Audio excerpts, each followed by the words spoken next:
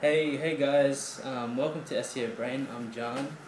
Um, so today we're going to be talking about uh, guest blogging and uh, how to go about finding those guest blogging opportunities. So, uh, what are the advantages and disadvantages of guest posting? Now, the advantages are they allow you to capitalize on the popularity of the blog and build awareness to your site and they are also an excellent branding opportunity. Um, some disadvantages are they, they have there are some restrictions on the writing style that you're allowed to use and the anchor text you're allowed to use as well. Uh, they can also be very costly if you are paying to do a blog post.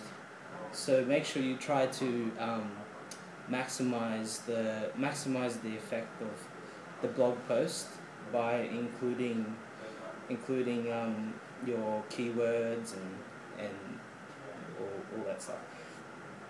Um, so some of the methods in uh, trying to get guest blogging opportunities is Google search, like it's a very simple method. Basically you use uh, advanced operators and um, reductive search queries.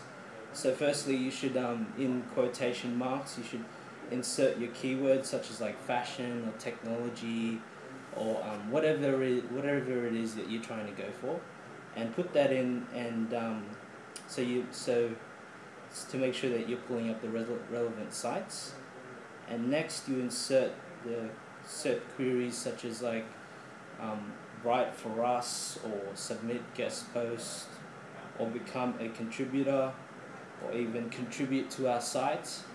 Those are things that you can you can plug in as well and include that into in, include um, quotation marks in that. And after after you've got that um, there are also other variations you could use. Those aren't the only ones. But after that just uh, type this into Google and see what comes up. And also if you want to target a specific country then um, and then you can um, plug in an additional search query such as the, the advanced operator uh, site colon and put in something like .com.au or .com for US or .co.uk and then um, that will uh, narrow down the search to, to the country that you're looking for. So uh, after that, the other thing you could do is to research your competitors and plug them into uh, Open Site Explorer which will generate all the sites that are linking to the URL you've specified.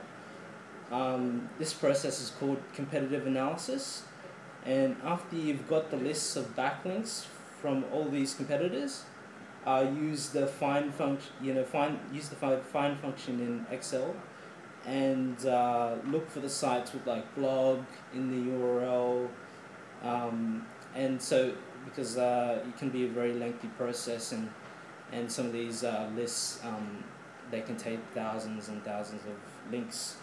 So um, after you've found the potential sites, the ones with like blog or or things like that in the URL, then um, you can start to start the email process. Start right. I'm thinking about what you're going to write to um, to that uh, potential site. And now uh, finding these guest opportunities is half the battle. Now the, the other half is actually writing the guest post and writing um, good content. So it will be shareable and people want to um, people want to like will like it and and uh, even comment on, comment on it and things like that. So um, yep that that that just about wraps it up for guest posting.